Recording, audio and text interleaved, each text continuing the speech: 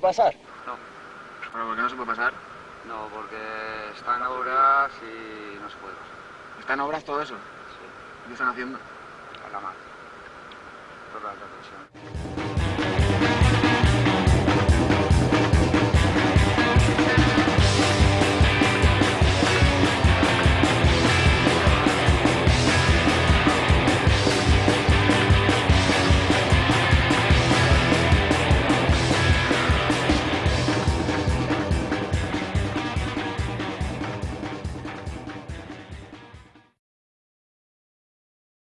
Las Guillerías es una comarca natural dentro de la comarca de la Selva, en la provincia de Gerona, y es muy rica en sus bosques y ríos, primero por los bosques, por su gran variedad de, de tipos de árboles, hay una diversidad muy grande, ¿no? y en muchos de sus hectáreas también con un territorio totalmente virgen. Este sería uno de los tramos, una de las zonas afectadas por el proyecto de interconexión entre Francia y España, lo que se conoce popularmente como la MAT. Está concebida como una autopista eléctrica. La MAT es un proyecto de, venta de energía de las grandes empresas eh, eléctricas de Europa, que es para el puro comercio. Cuando hablamos de autopista eléctrica, no nos hemos de quedar nada más en la mente con la idea de unas grandes torres y unos cables, sino que estas infraestructuras comportan también subestaciones eléctricas, comportan también centrales de generación de energía y por tanto es un proyecto mucho más complejo. En esta zona mm, no necesitamos unas torres y unos cables de este tipo. Eso es evidente. Esto es un interés, es un proyecto de Estado eh, que tiene muchas implicaciones políticas y económicas, pero que no da solución a nuestras necesidades. Yo no creo que el ciudadano de a pie se beneficie en nada, ni en mejor suministro, ni en precio, ni en nada. Este proyecto es una razón de Estado.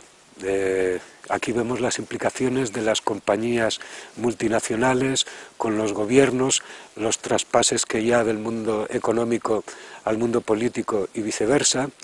Y aquí nos encontramos con un proyecto que lleva ya más de una década venciendo la voluntad de la mayoría de la gente.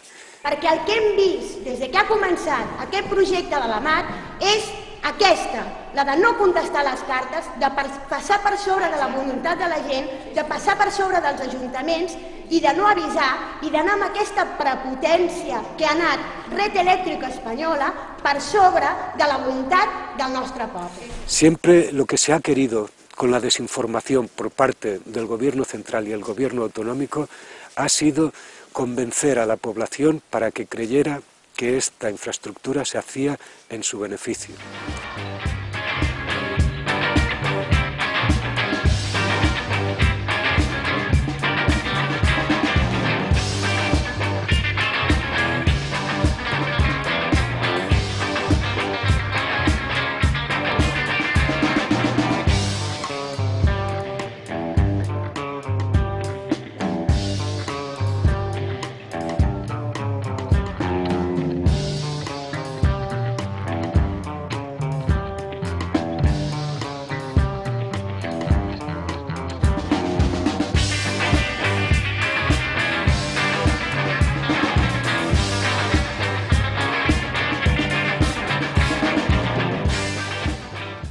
El responsable de estudios de afectaciones de salud eh, en los campos electromagnéticos de la Organización Mundial de la Salud ha tenido que dimitir ya que había manipulado todos los informes que había realizado eh, investigadores a sueldo de la Organización Mundial de la Salud, los había manipulado obedeciendo las órdenes del lobby eléctrico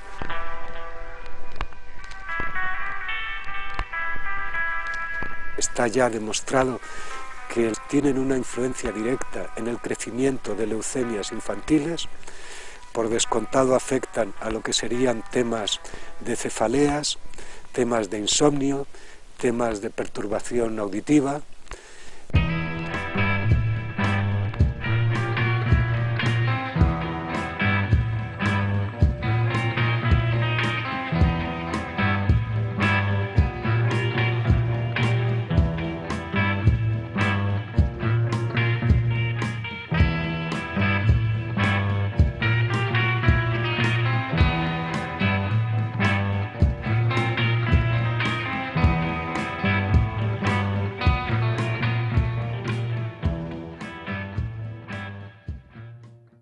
Bien, eh, la MAT se extiende y se quiere extender por el norte de África y conectar por los Balcanes con Europa y hacer diferentes anillos, el anillo del Mediterráneo y hacer mm, anillos concéntricos superiores para crear un mercado único de la energía. En concreto, estamos en un tramo de toda esta cadena. Este tramo iría de Semanat a Baixas, Francia.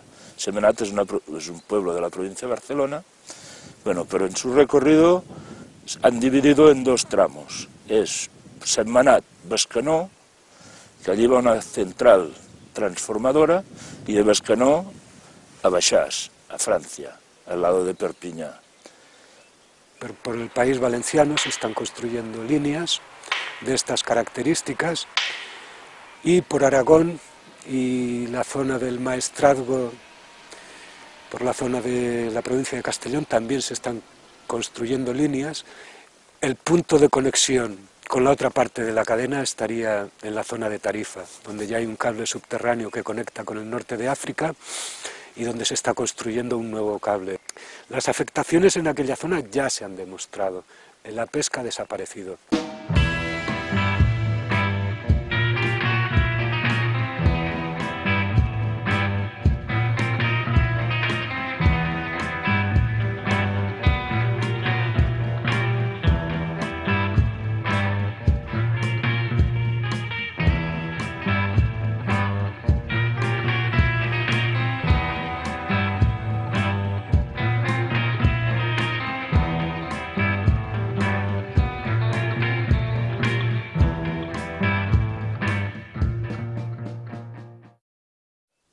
La parte de Vic y de Semanat Bascanó está construida casi todas las torres, menos las dos de aquí, San Hilario, que por problemas no las han, no las han podido construir.